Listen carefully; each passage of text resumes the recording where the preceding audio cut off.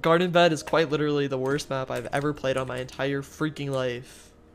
It is know not an but I feel opinion, it is an objectively accurate, true statement. Garden Bed is absolutely disgusting. I'm getting back into it because I hate Garden Bed so much, and Garden Bed is such a bad map, and I hate Garden Bed. No one ever likes Garden Bed, okay? If you're not dodging Garden Bed, and if you like playing on the map, you're an absolutely terrible person. I hate Garden Bed. I've lost so many win streaks on Garden Bed. It is an objectively horrific, disgusting, terrible, cringe-worthy, disgusting, really bad, horrific map that no one ever wants to play on, no one ever wants to be a part of. Because if you're a creator of Garden Bed, I don't know what's wrong with you. Okay, why would you ever? Why would you ever want to be the person that created Garden Bed? Okay, I feel bad for you. If you really think Garden Bed is a good map, you need to get yourself checked out. Because okay, literally, why would anyone create Garden Bed and be proud of it? Like, who created Garden Bed? I want to see that I can never ever use any of their maps and avoid them forever. Okay, because Garden Bed is so freaking bad. Okay, no one likes Garden Bed.